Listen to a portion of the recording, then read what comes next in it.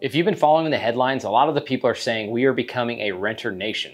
The reason for this is hedge funds. Hedge funds are buying in single family properties in the bulk. They're building portfolios. They've been doing this for several years and really they're starting to take off inventory that would be for a homeowner and now they're converting that into a rental. So a lot of people are thinking, oh man, I'm, I'm missing the window. But guys, here's the good news. A lot of these hedge funds and investment banks, they've gone on pause. When interest rates came up and there was a little bit of uncertainty, a lot of them are not buying. So we have this little window right now where interest rates are still high, but they've shown indications they're coming down where we can still get in and buy properties. And here's the thing, guys, if you're worried about interest rates, here's my favorite phrase. It's you marry the house, but date the rate. So here's the thing, go in and buy the property now. So I encourage you guys, it's a great window right now to get into real estate, to go buy a rental property, to go invest as a partner, to go be a lender, whatever it is, but get into the real estate game now before all the hedge funds buy all the properties.